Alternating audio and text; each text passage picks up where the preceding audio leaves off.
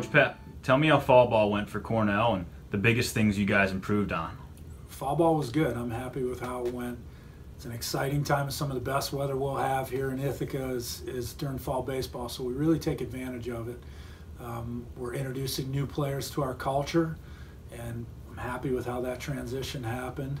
And really taking some some veteran players, some of the returning players, and getting them used to other positions on the field. So we spent a lot of time working on defense this fall, defensive positioning and communication, and uh, we still have more work to do there. But I'm happy with the progress we made.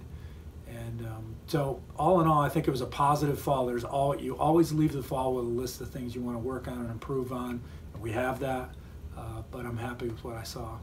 Cool. Tell me how you're going to build on that progress in February practice. February practice is indoor for a chunk of time, um, but we're very organized with it and we take advantage of it. It's a lot of pitcher hitter matchups.